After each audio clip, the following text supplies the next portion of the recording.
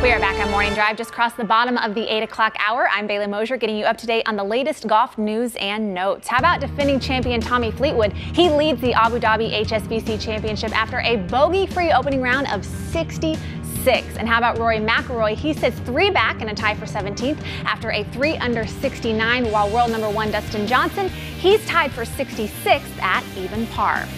As we take a look at the leaderboard, six players are tied for second behind Fleetwood, including Thomas Pieters, who was a standout rookie in the 2016 Ryder Cup. And Tommy Fleetwood, he spoke to us after his round earlier this morning.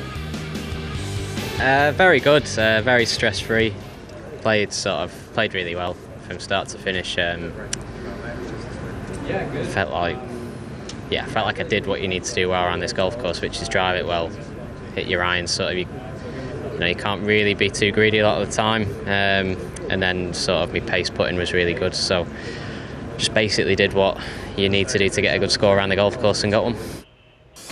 Impressive stuff from Fleetwood. Well, back to the United States where the Career Builder Challenge gets underway today. Phil Mickelson, he's going to make his 2018 debut alongside Zach Johnson. They're off at 12:10 p.m. Eastern Time. And Jon Rahm, he's coming off a runner-up finish in his last start just two weeks ago at the Sentry Tournament of Champions. He's going to tee it up with Bubba Watson. They're off at 11:30 a.m. Eastern Time. And the PGA Tour Champions kicks off their season today at the Mitsubishi Electric Championship in Hawaii. Defending champion Bernard Langer, he tees it up with Kevin Sutherland and Scott McCarron. They're off at 5:40 p.m. Eastern Time. Well, stick with us right here on Morning Drive. Coming up next, we have a best-selling author and motivational speaker who's here to help you stay in the moment and keep you mentally focused.